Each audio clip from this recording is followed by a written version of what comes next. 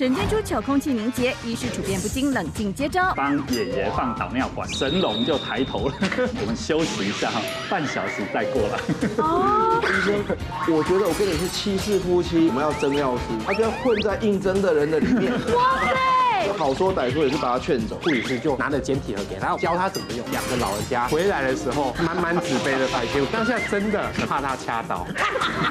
今天晚间九点，妈妈好神，东森超市三三频道。